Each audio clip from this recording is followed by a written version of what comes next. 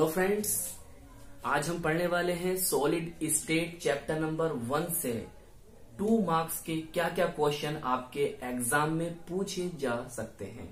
तो उन to marks के क्वेश्चन में से मैं पहला क्वेश्चन एनसीआरटी से आपके लेकर आया हूँ, जिसका नाम है कि कांच को सुपर कूल्ड लिक्विड क्यों कहा जाता है? गिलास को हम सुपर कूल्ड लिक्विड क्यों मानते हैं? यह आज का क्वेश्चन है।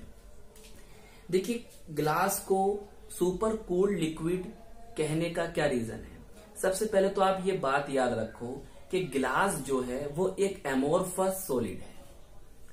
अब जो एमोरफस सोलिड होते हैं, हम उनको सुपर कूल्ड लिक्विड या स्यूडो सोलिड भी कहते हैं। अब सुपर कोल्ड लिक्विड क्या होता है? इसे समझते हैं।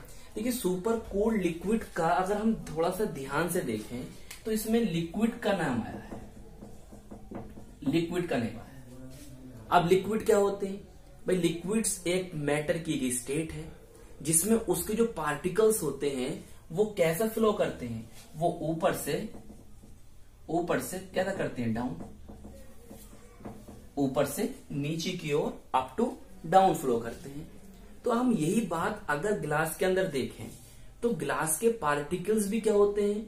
अप टू डाउन फ्लो करते हैं। तो इससे हमें पता चलता है कि ग्लास के पार्टिकल्स भी लिक्विड के पार्टिकल्स की तरह बिहेव करते हैं।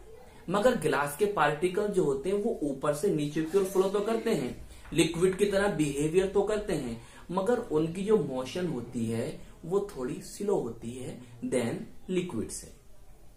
तो इसीलिए हमने कुल मिलाकर बात को ये जाना कि ग्लास को सुपर कूल लिक्विड इसलिए कहते हैं क्योंकि ग्लास के पार्टिकल्स लिक्विड के समान ऊपर से नीचे की ओर फ्लो कर जाते हैं।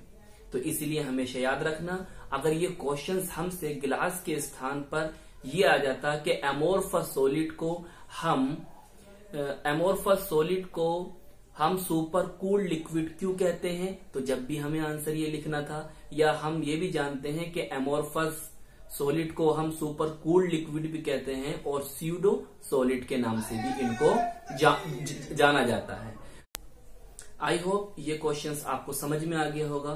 तो हम मिलते हैं आपको इसकी नेक्स्ट वीडियो में और आप इस लाइक कीजिए हमारे चैनल को सब्सक्राइब कीजिए शेयर कीजिए। जब तक के लिए धन्यवाद।